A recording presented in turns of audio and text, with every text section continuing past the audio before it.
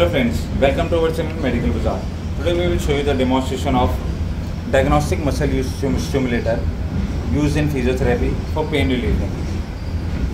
This machine comes with a carry bag, gel bottle, set of strap, pen electrode, four pads and four wires. This is the four channel machine. Before starting the demo, please subscribe to our channel and like the video. Let's start the demo now. Switch on the machine.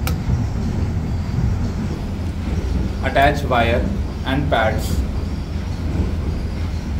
You can set the timer 5 minutes, 10 minutes, 15 minutes, 20 minutes, 30 minutes as per your requirement. You can select galvanic or Faraday.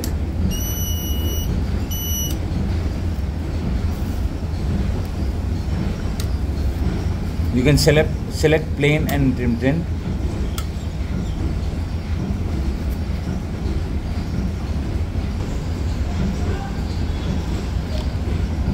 You can set the pulse rate, pulse rate from here 3 is to 1, 1 is to 1, and 1 is to 3. You can set the duration, it goes from 0.01 to 1000 seconds, milliseconds.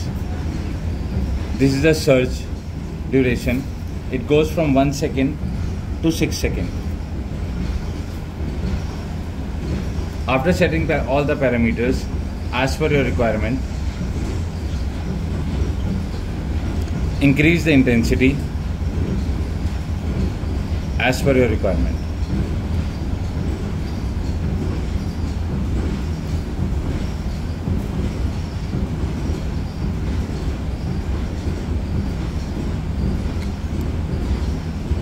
Once the treatment is completed, switch off the machine.